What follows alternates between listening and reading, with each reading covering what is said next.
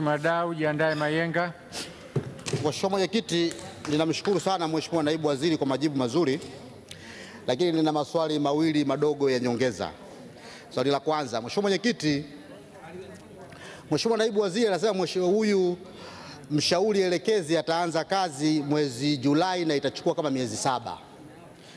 Sasa nilikuwa nataka atuhakikishie watu wa Mafia, baada ya miezi saba ya, ya mshauri kumaliza kazi, je, ujenzi rasmi wa hizi hybrid utaanza lini?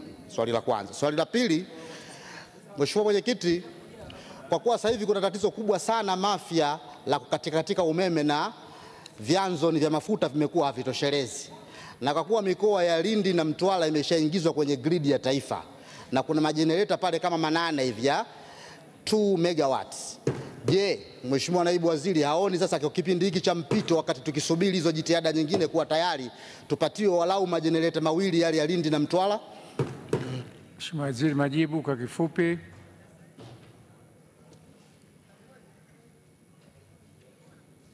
Mheshimiwa Mwenyekiti, nakushukuru kwa kunipa fursa na kwa niaba ya Waziri wa Nishati naomba kujibu swali la ndugu yangu Mheshimiwa Mbaraka Dau, mbunge wa Mafia, maswali yake mawili ya nyongeza kama ifuatavyo. Swali lake la kwanza, Mheshimiwa Mbaraka Dau ameuliza ni baada ya, ya upembuzi yakinifu kuanza na kukamilika nimthibitishie kwamba ni kweli mradi huo utaanza ndani ya hiyo miezi saba.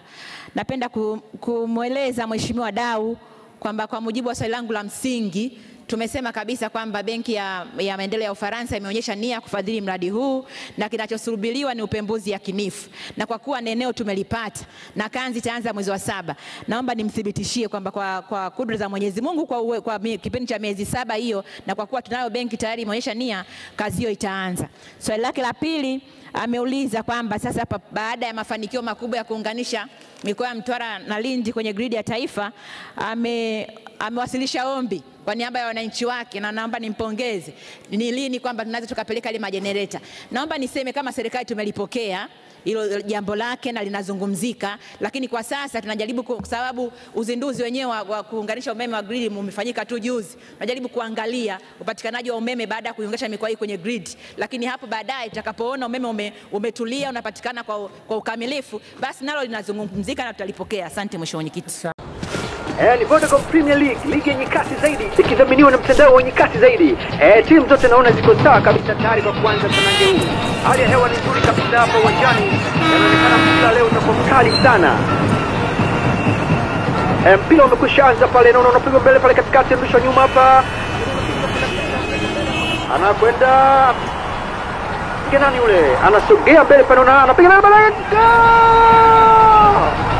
Dakika ya tatu kabla mpira hujapoa. Mambo yalikuwa mambo uwanjani hapa, ilipiga cross moja hatari sana pale, ikagongwa kichwa, ikarudi, ikabounce, wanasema ikatambaa kwenye mtambaa wa panya ule, ikarudi, akafumua shuti kali sana moja kwa moja wavuni.